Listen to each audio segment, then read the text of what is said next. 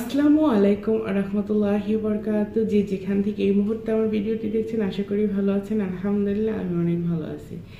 আজকেও নিয়ে আসলাম নতুন একটা ভিডিও। ইনশাল্লাহ আপনাদের কাছে ভালো লাগবে। দেখেন চায়ের ধোয়া কীভাবে উঠতেছে। ভিডিওতে দেখা যাচ্ছে কিনা জানি না। চা আর একটা স্যান্ডউইচ বানায় নিয়ে চলে আসলাম। সকালবেলা নাস্তা করব। ঘুম থেকে উঠছি প্রায় এক ঘণ্টা আগে। তো নাস্তাটা আজকে একটু দেরি হয়েছে আর প্রতিদিনই দেরি হয়। সত্যি কথা বলতে দশের সকালে ঘুম দিয়ে করতে ইচ্ছা করে না। এটা হচ্ছে সবচেয়ে বড় প্রবলেম মনে হয় আরও ঘুমাই আরও ঘুমাই। সকালে অনেক ভোরে একবার সজাগ হয়েছি, কিন্তু দেখি কি তখন ছয়টা বাজে। পরে আবার ঘুমাই গেছি। কারণ অত সকালবেলা তো কাজ থাকে না আমার, তো চিন্তা করি ঘুমাই আর একটু। আর একটু ঘুমাইতে গিয়ে একবার নয়টা বিশ বাজায় ফেলছে। না সরি নয়টা পনেরোতে মনে হয় উঠছি আমি। তো যাই হোক একটি লাইক দিয়ে আমার ভিডিওটি দেখা শুরু করবেন প্লিজ আর আজকের নাস্তা খুবই সিম্পল একটা স্যান্ডউইচ বানাইছি এগ স্যান্ডউইচ। আর গরম গরম এক কাপ চা। চাটা ভালো লাগে, সকালবেলা খাইতে আমার খুবই ভালো লাগে। তো যাই হোক, আজকের ভিডিওটা শুরু করলাম। আল্লাহর নাম শুরু, আল্লাহর নাম শুরু করে ইনশাআল্লাহ, মাশাআল্লাহ তো বরকাল্লাহ আপনাদের কাছে ভালো লাগবে। তো চলুন, নাস্তাটা খেয়ে নিই খেলতে লাগছে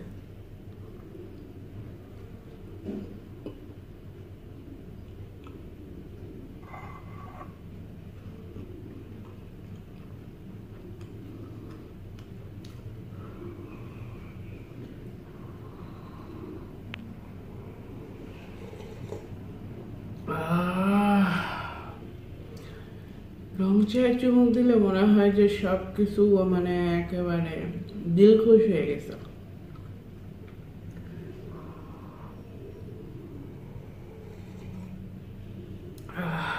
কি শান্তি। দুধ চা খাবেন না, দুধ চা মাসি, দুধ চা খাবেন না। দুধ চা শরীরের জন্য অনেক ক্ষতিকর, মুখের টেস্ট কিন্তু অনেক ক্ষতিকর, রং চা খাবেন সবাই।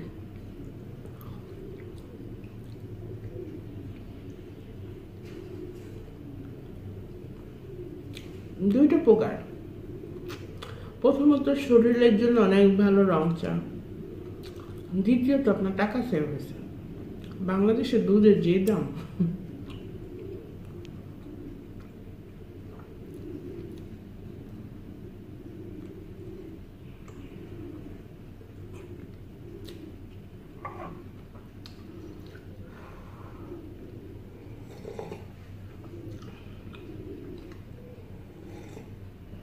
আলহামদুলিল্লাহ আমার নাস্তা খাওয়া নাস্তাটা খেয়ে নিই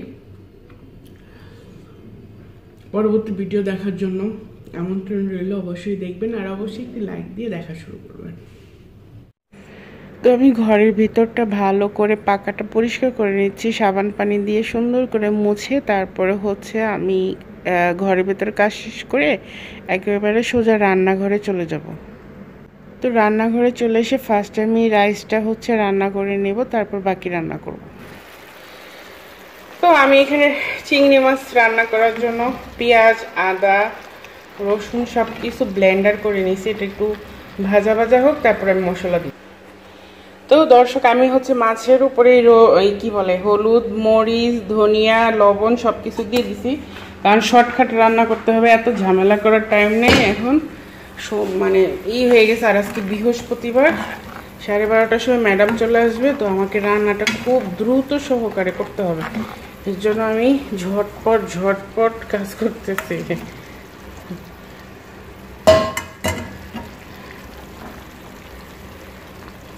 আসলে এখন ওই যে ই দিন ছোট হয়ে গেছে তো, এর জন্য মানে প্রবলেম হয়ে যায়। আর ওনারা, দেখা গেছে আমার দুপুরের খাওয়ার পরে আমি বৈশা থাকি, কিন্তু ওই যে একটা টাইম আছে তো, ওই টাইমটাতে সবাই আসে একসাথে খাওয়া দাওয়া করতে। ওই টাইমটার মানে মধ্যে আমার খাবারটা রেডি করে ফেলতে হয়। আর আবার ঘুমেতে উঠি দেরিতে, এই হচ্ছে সবচেয়ে বড় বদ মানে ফালতু একটা অভ্যাস। ঘুম থেকে ঘুমই ভাঙে না। তো এটা কিন্তু টমেটো আর এটা ধনিয়া পাতা না, এটা হচ্ছে বাদুনিস বলে এখানে। তো এটার ফ্লেভারটা ডিফারেন্ট ধনিয়া পাতার মতো না, অন্য একটা রকম। কিন্তু দেখতে ধনিয়া পাতার মতো। তো এই জিনিসটা আমি এখানে দিয়ে দিব, কারণ মাছের যে একটা স্মেল তো সেটা চলে যাবে আর কি এই পাতাটা দেওয়ার জন্য।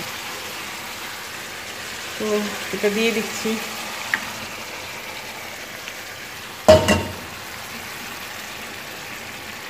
তো কিছুক্ষণ এটা হোক, সিদ্ধ হলে তারপর হচ্ছে আমি প্রথমে চাউল মানে ভাত যেটা সিদ্ধ করছি, সেই চাউলটা দিয়ে তারপরে হচ্ছে মিডিলে হচ্ছে এই মাছগুলি দিয়ে উপরে আবার ভাত দিয়ে একটু হালকা পেঁয়াজ বেরাস্তা দিয়ে দমে বসাইতে হবে। বাস শেষ, কাহিনী, বিরিয়ানি শেষ। এখানেই খতম বিরিয়ানি। তো মাই প্রিয় দর্শক অলরেডি আমি বিরিয়ানিটা বসিয়ে দিয়েছি এইভাবে। এখন জাস্ট দম দিব, তারপরে আমি মিডলে দিয়েছি চিংড়ি মাছ আর ওপরে দিয়েছি। বাস এটা কমপ্লিট হইলে আমি তারপরে চাউলটারে মিক্স করব। এখন মিক্স করব না। তো আমি এই যে অল্প আছে, দমে বসাই দিছি দেন এটা হতে থাকে। তো এখানে হচ্ছে আমার জন্য আর ভাগিনার জন্য একটু চিংড়ি মাছ ভুনা করে নিলাম, কারণ বিরিয়ানি খাব না। আমরা একটু চিংড়ি মাছ ভুনা করে সাদা ভাত দিয়ে খাব, তো আমাদের রান্নাটাও কমপ্লিট আমার ম্যাডাম কখনোই কেজি হিসেবে মাংস কিনে নিয়ে আসে না। যখনই মাংস শেষ হয়ে যায়, আনাম একটা মানে দুম্বা বা খাসি যেটাই হোক, সেটা জবাই করে একদম পুরো মাংস, মাথা সহ, কলিজা সহ সব কিছু নিয়ে আসে। আর নিয়ে আসলে আমি এরকম ছোট ছোট প্যাকেট করে ফ্রিজে রেখে দিই তো দর্শক দেখেন, আস্তে এক আলাম খাসি। খাসি না, এটা ওই যে ভেড়ার মতো দেখতে, এটা কি বলে, দুম্বা বলে না কি বলে, জানি না, যাই হোক। সব মাংসগুলি এরকম ছোট ছোট প্যাকেট করে নিলাম। তো এটা এখন ফ্রিজে রেখে দেবো। ওরা নিয়ে গেছে এখনও তো প্রিয় ভাই ও বোনেরা, সকাল থেকে এই পর্যন্ত কাজ কাজ কাজ, আর খুব ক্লান্ত, মুখ দিয়ে কথা বের হচ্ছে না। মাংস তো দেখলেনি এতক্ষণ, গোস্তগুলি সব ফ্রিজে রাইখা। তারপরে এখন কাজ শেষ করলাম, এখন গোসল করব। গোসল কইরা দুটা ভাত খাব, কারণ অলরেডি তিনটা, সাড়ে তিনটা বেজে গেছে। সাড়ে তিনটা বেজে গেছে, প্রচুর ক্ষুদাও লাগছে। ভাত টাত খাইয়া তারপর একটু রেস্ট করব, তারপরে বিকেলে আবার কাজ করব। তো ভিডিওটা দেখতে থাকুন। আশা করি ভালো লাগবে। ভালো লাগলে একটি লাইক দিয়ে দেবেন প্লিজ আমি এখানে পেঁয়াজটা একটু ভাজতেছি। আমি আজকে এমন একটা খাবার রান্না করব। এই যে এখানে আছে মাংসের কিমা, এখানে আছে কুচবাড়া, টমেটো, আর আমি বানাবো হচ্ছে এই যে এই, এটা দেখতেছেন না? এটা পাতা বয়ামের ভেতরে। এটা আঙ্গুর ফলের, আমরা যে আঙ্গুর খাই, সেই আঙ্গুর ফলের পাতা। এইভাবে ওরা বয়ামের ভেতরে লবণ পানির মধ্যে চুবায় রাখে। তো আজকে পুরো প্রসেসিংটা আপনাদেরকে দেখাবো, কীভাবে আমি কি করতেছি। তো প্রিয় দর্শক, আজকে আপনাদেরকে এমন একটা রান্না দেখাবো, এমন একটা খাবার আমি বানাবো, যে খাবারটা হচ্ছে আরাবিয়ানদের মোস্ট অফ ফেমাস ফুড সেটার নাম হচ্ছে ওয়ারাগা আনাফ। এখন নিশ্চয়ই আপনাদের মনে প্রশ্ন, ওয়ারাগা আনাফ কি? ওয়ারাগা আনাফ হচ্ছে আমরা যে আঙুরটা খাই, সেই আঙুর ফলের যে পাতাটা, সেই পাতাটা দিয়ে এরা একটা খাবার বানায় জাস্ট স্প্রিং রোলের মতো স্প্রিং রোলের মতো স্প্রিং রোলের মতো।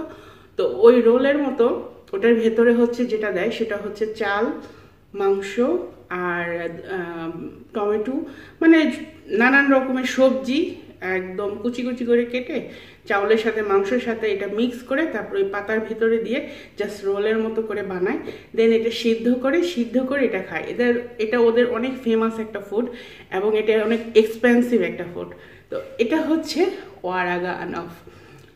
এইভাবে হচ্ছে এটার ভিতরে বয়মের ভিতরে হচ্ছে পানি এবং লবণ। এই পানির ভেতরে ওরা ফ্রেশ পাতাটাকে চুবিয়ে রাখে জাস্ট আমাদের দেশের আচারের মতো। চুবিয়ে রাখলে এটা লং টাইম স্ট্রে করে, পচে না এবং ফ্রিজে রেখে দেয়। নর্মাল নর্মাল ফ্রিজে ডিপ ফ্রিজে না কিন্তু নর্মাল ফ্রিজে তো এই পাতাটা এখন আমি পানি থেকে বের করে সেই রোল বানাবো এবং সেটা আপনাদের সাথে আমি শেয়ার করব। তো এটা হচ্ছে আরবিদের খুবই পছন্দের এবং খাবার এবং অনেক এক্সপেন্সিভ একটা খাবার। তবে যদিও আমার কাছে মানে আটানাও ভালো লাগে না, চারানা বাদ দিয়ে আমার আটানাও ভালো লাগে না বাট ওদের খুব পছন্দের খাবার। তো আজকে আপনাদের দেখাবো ওয়ারাগা আনাফ ওয়ারাগা অফ আপনারা অনেকে আঙুর ফলের পাতা অবশ্যই দেখছেন। সো এটা আসলে অনেকে হয়তো বা জানেন না যে এই পাতাও খাওয়া যায়। তো আজকে আমার ভিডিওর মাধ্যমে ইনশাল্লাহ আপনারা জানবেন যে আঙুর ফল যেইভাবে আমরা খাইতে পারি, আঙুর ফলের পাতাটাও খাওয়া যায়। যদিও আমাদের দেশে কেউই এটা পছন্দ করবে না, তবে ভিনদেশি মানুষদের খুব পছন্দের খাবার এটা। তো দেখুন কীভাবে আমি বানাই ওয়ারাগানফ এই পাতাটা এখন হচ্ছে আমি যেটা করব সেটা হচ্ছে যে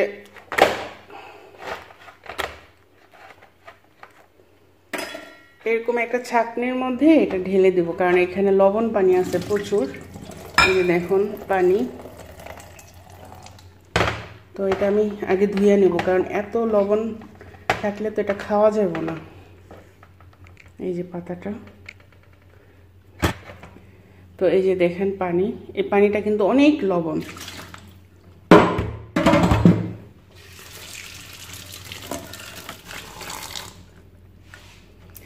আর এখানে আমি হচ্ছে চাল নিয়ে নিছি। চালের উপরে হলুদের গুঁড়া, গোলমরিচের গুঁড়া, আর হচ্ছে লবণ দিব। আর এখানে আমি কুচবাড়া, এটা ধনিয়া পাতার মতোই বা ধনিয়া পাতা না, টমেটো কুচি আর একটা মরিচ কুচি করে নিছি। এগুলি এখন সব মিক্স করব একসাথে। তো এখানে আমি হচ্ছে এগুলি সব সবজি দিয়ে দিব। টমেটো।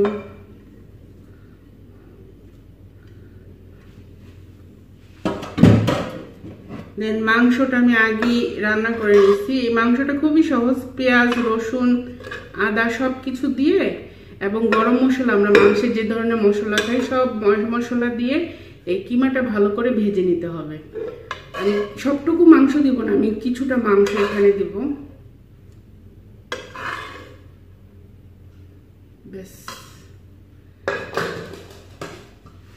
এখন আমি এটাকে সুন্দর করে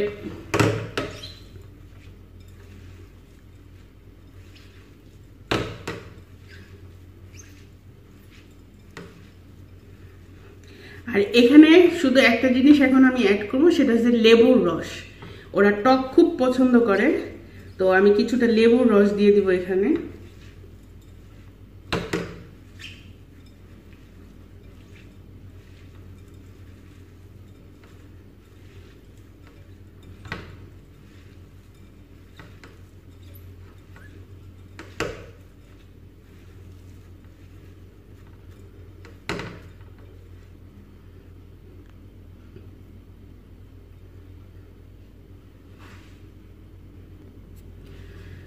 তো আমি কিছুটা জাইতুন অয়েল দিয়ে দিলাম। এটা হচ্ছে আপনার অলিভ অয়েল অলিভ অয়েল দিয়ে দিলাম। এখানে রান্না করার যে তেল, ওইটা দেওয়া যাবে না। অলিভ অয়েলটা দিতে হবে।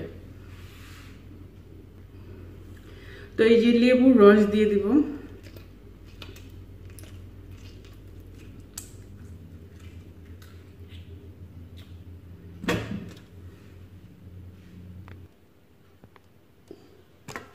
তো দর্শক, আমি এই যে পাতা বানাতে বসছি, তো আমি এইগুলি এখন সবগুলি বানিয়ে তারপরে হচ্ছে এখান থেকে উঠবো। তো মোটামুটি অনেক সময় লাগবে, প্রায় দুই ঘণ্টা, দেড় দুই ঘণ্টা লেগে যাবে, কারণ আস্তে আস্তে বানাইতে হবে। তো সবগুলি পাতা বানিয়ে তারপর আবার আপনাদের সামনে আসতেছি। অতক্ষণ ভালো থাকেন হ্যাঁ? তো প্রিয় দর্শক, আমি অনেক কষ্ট করে এই সবগুলি পাতা বানিয়ে শেষ করলাম। তো এতক্ষণ যারা কষ্ট করে আমার ভিডিওটি দেখলেন, সবাই ভালো থাকবেন। আল্লাহ হাফেজ। আসসালামু আলাইকুম রহমতুল্লাহ